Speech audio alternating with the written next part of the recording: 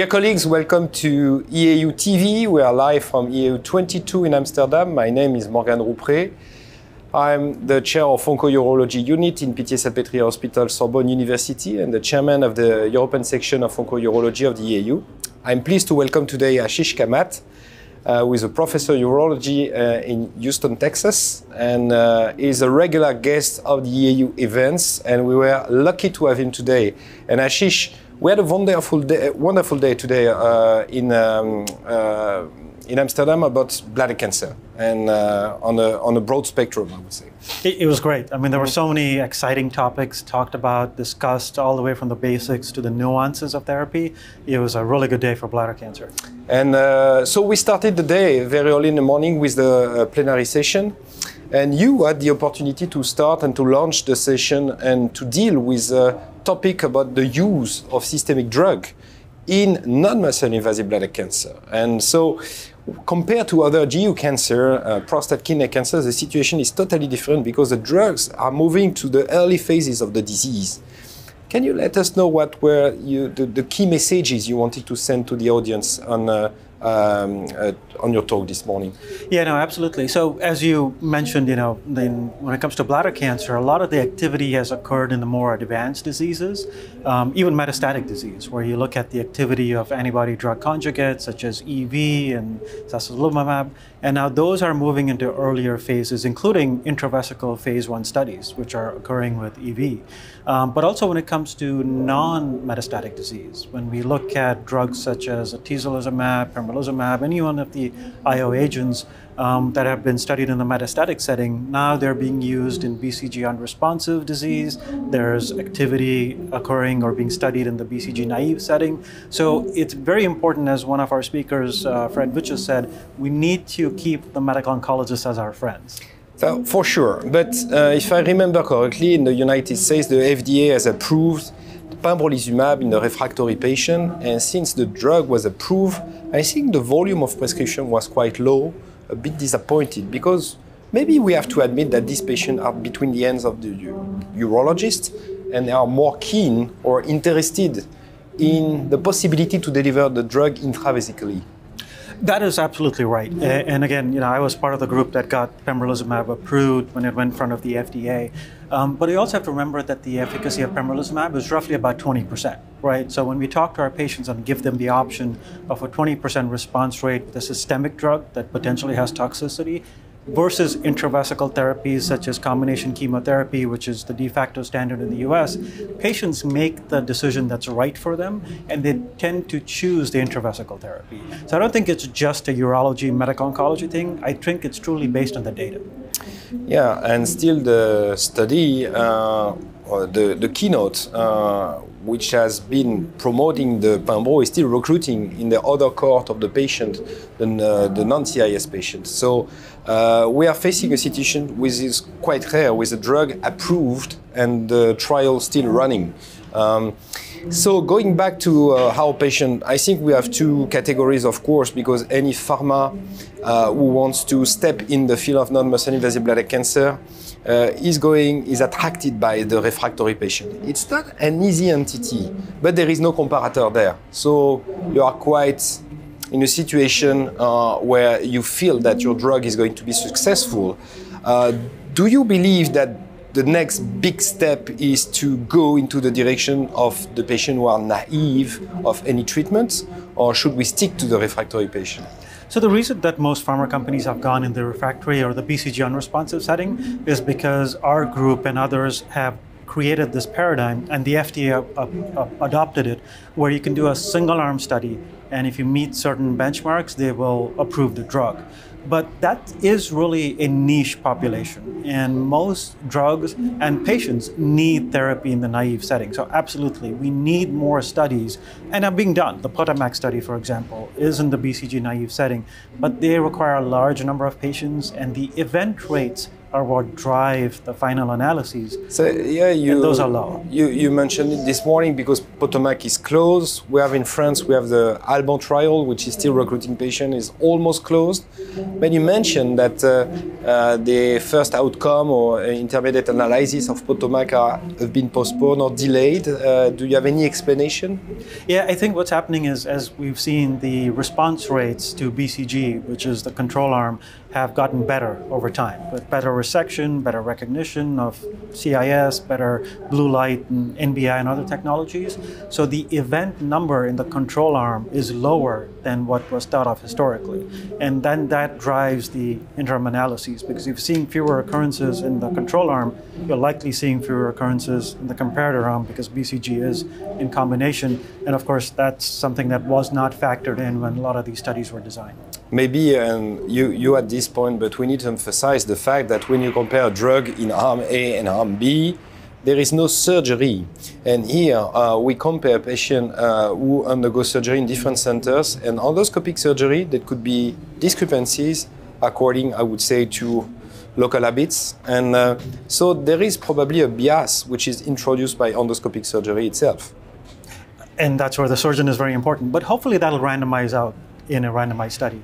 But if it's not randomized, then yes, clearly, if surgeon A does a better resection and surgeon B does not do a good resection, that would affect the outcomes. So the other thing is the intravesical way. Uh, we have uh, also some uh, uh, new kids on the block in the pipeline. Um, can you let us know what uh, you feel is going to be relevant for the patient and the physicians within the next few months? So I think one big thing is the nadofaragene uh, gene therapy, and that was studied and reported, and the data seem fairly good. They're at least as good as pembrolizumab, and much less toxicity. That drug, unfortunately, has not yet been approved by the FDA, partly because of manufacturing issues and not any trouble with the data. So hopefully that's one. The other one that's really exciting is the N803, the COLD study, which was reported at GU ASCO and ASCO, which is BCG plus the IL 15 superagonist.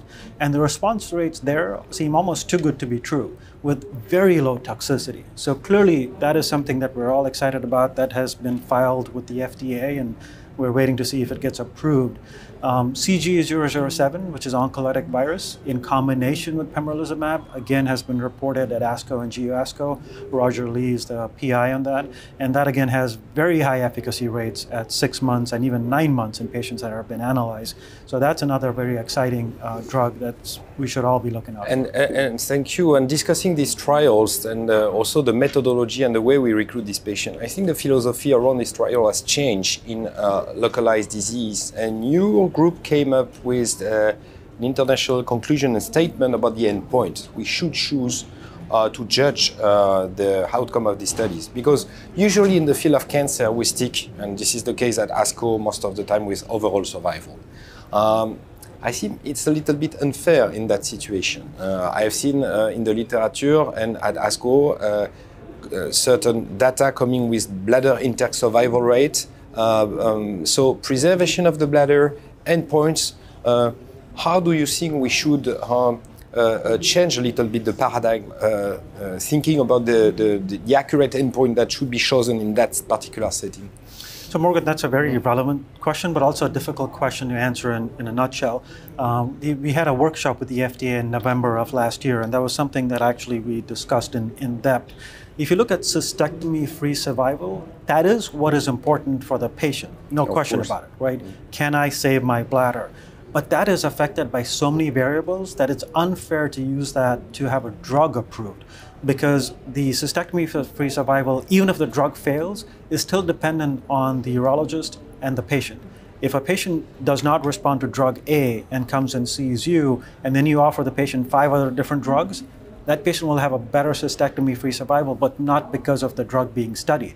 So that is a very difficult endpoint to use for approval, but is certainly a secondary endpoint that should be collected in all. But there is also a need not only for physicians to be educated on, but with the authorities to discuss, because usually they stick to the so-called classical, I would say, endpoints. And they have to be open-minded to accept the fact that we come up with studies where the endpoints are a little bit different I, I agree. I agree. But but recurrence-free survival and progression-free survival are, are really good endpoints to Yeah. look at. Um, let's move a little bit forward in the natural history of the disease, and now we are going to focus on uh, muscle-invasive bladder cancer because I think there were interesting messages coming from the rapid-fire debates, and we are. Let's start from the clinical situation which happens uh, and that we discussed today, where we have from the endoscopic assessment a T2 tumor, a single spot, uh, and we went into the proposal of receiving neoadjuvant chemotherapy plus cystectomy. But there was, after the regimen of chemotherapy, the patient was suitable for chemotherapy, uh, there was a re-evaluation, endoscopic re-evaluation. And it's a T0, biopsy are negative. And so the patient is raising the point about why do you take out my bladder uh, because I may end up as a T0. And so I see more and more this debate uh, coming uh, not only uh, between the scientific, but between the patient and the doctor. So, how can we solve this issue today?